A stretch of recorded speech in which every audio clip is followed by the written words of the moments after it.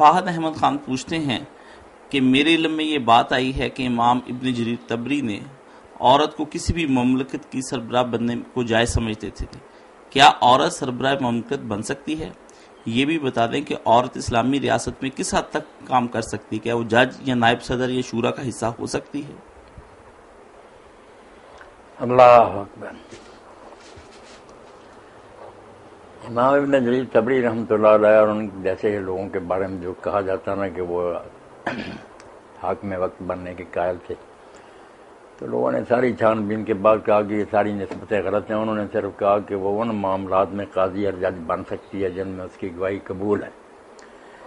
बाकी जो है ना कि हुकूमत में कहाँ तक उसको तल इख्तियार मिल सकते हैं। जी। इसमें इमाम इबन हसन रहमत की राय ठीक नज़र आती है कि हजूर ने सिर्फ़ सरबराह जो है ना कि वो खलीफा बने या इमाम या सरबराह ममलकत।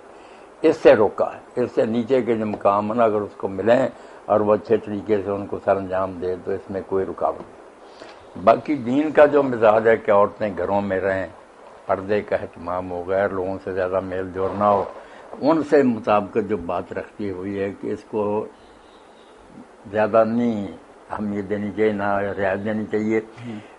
इस्तेसनाई हालात में अगर ऐसा होना चलो किसी जगह कोई काम नहीं चलता वरना मर्द जो है ना डिग्री हाथों में लिए बेकार फिर रहे हैं औरतें घरों के काम संभालें।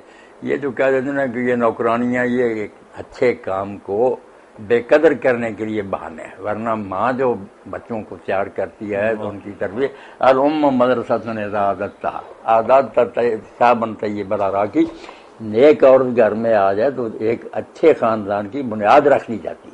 छोटा काम नहीं सीरत फरजंदा आजमाद ये सारे नबी वली इमाम जो बनते हैं औरत के सर के बनते हैं। इसलिए वो तरबियत करे अतफाल की। हम्म। छोटा काम नहीं इससे गफलत का नतीजा कि दुनिया भर गई करप्ट लोगों से। हाँ। हम्म, हम्म। तो माओ को ज़्यादा उस महाज की तरफ़ तवज्जो करनी चाहिए बाकी जायज़ होने की हद तक ठीक है। कि खलीफा वक्त नहीं बाकी अगर हो तो ले सकते इससे तो मौलाना यही है कि ऐसे बच्चे तैयार करे जो उस इस्लामी रियासत को सही तरीके से संभाल सके। आ, वो माँ ही है हुकूमत कर रही है कर सकती है। दरअसल जो कहते हैं ना घर कामयाब आदमी के पीछे को औरत होती वो यही बात है हम्म। कि माँ होगी अच्छी तो इंशाला ना जाओ हर सिद्ध को सफात महार